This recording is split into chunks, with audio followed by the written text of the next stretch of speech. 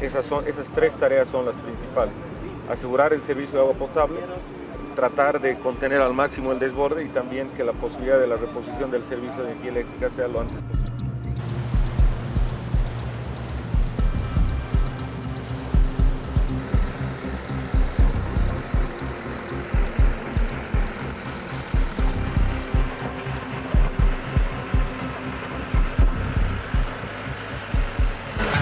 Único. Se refrenda la resolución 182-2024 de 10 de marzo de 2024 por el cual el alcalde municipal de La Paz declaró situación de emergencia y alerta roja en el municipio de La Paz.